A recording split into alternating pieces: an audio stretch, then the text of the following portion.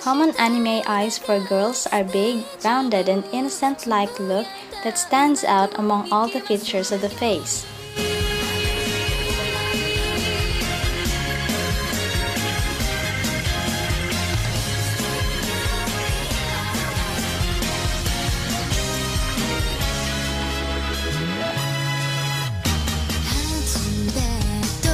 This tutorial is a basic anime look and good for cosplayers.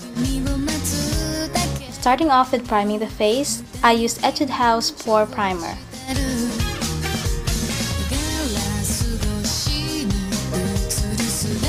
Then apply lip balm to condition your lips and to prevent your lips from cracking. I use Revlon Photo Ready because as cosplayers, expect a lot of pictures taken. As you can see, I did not use a brush or a sponge. I am just using my fingers to blend the foundation, but be extra careful on the under eye area because it is very sensitive. After the foundation, I apply Etude House's BB cream. This BB cream is lighter than my shade so I apply this to the frontmost area of my face, so it gives a little 3D effect plus extra coverage.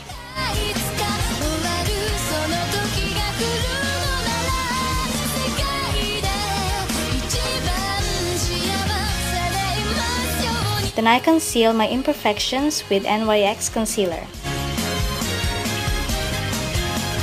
With any loose powder of your preference, dab them onto your face using a kabuki brush. Just dab it and don't brush off.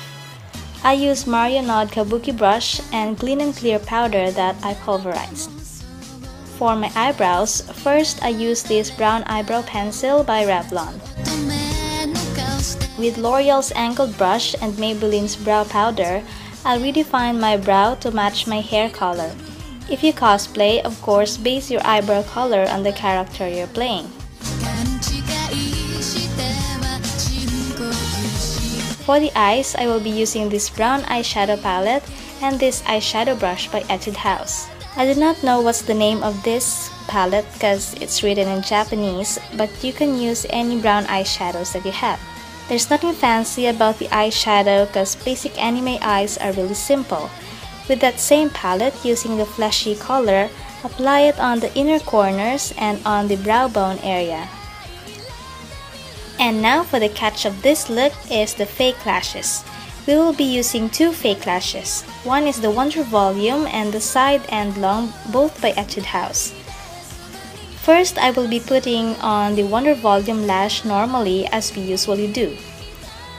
But before I put on the second set of lashes, I will be using that same angled brush and a black eyeshadow to tight line to erase skin color underneath the false lashes. See the difference? Now, time for the side and long lashes. Place the lashes below the first lashes. Yes, below, having the inner end of the lashes almost at the center of the lash line. The outer end must be slightly curving downwards to fake a rounder eyes. I'm done with my upper lash line. I'll need a matte white eyeliner and line my lower lash line up to the tear duct area.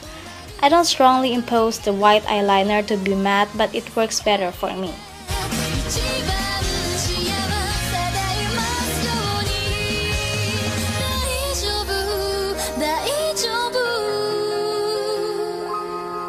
Next, I'll have my trusty liquid eyeliner and draw my fake lower lashes like so. And don't stress yourself to make it really perfect because it might make it more crooked. Just have fun.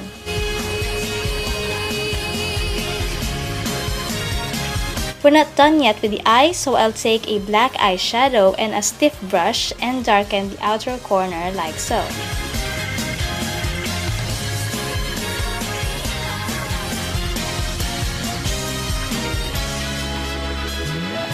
For my cheeks, a blush brush and Max Factor blush in Classic Rose.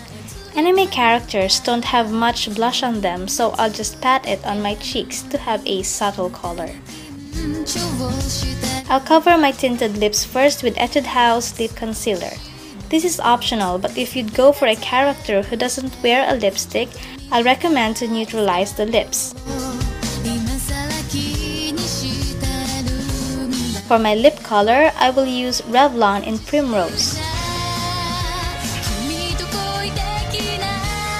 Thanks for watching. See you in my next video.